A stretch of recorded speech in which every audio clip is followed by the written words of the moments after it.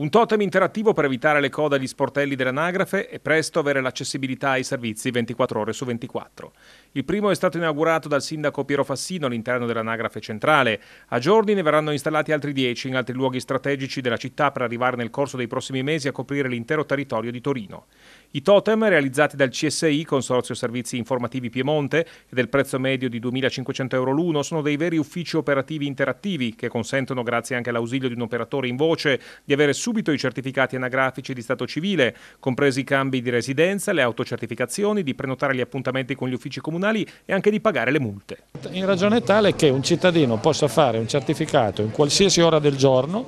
vicino a casa, senza fare code, con un modo assolutamente semplice e facile perché basta digitare la propria carta d'identità o il proprio codice fiscale per poter avviare la procedura, è un modo per rendere tutto più facile la vita quotidiana della gente. Non più code,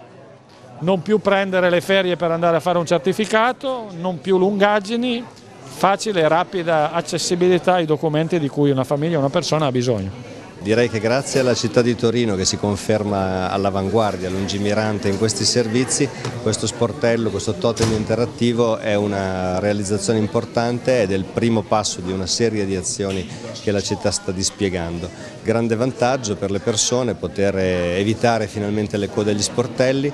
fare in modo automatico e in self-service le proprie pratiche, volendo con l'aiuto comunque di un teleoperatore, quindi di un operatore collegato in video e in, e in voce, che assiste passo passo anche quegli utenti che magari hanno meno dimestichezza di, di, di utilizzo della tecnologia.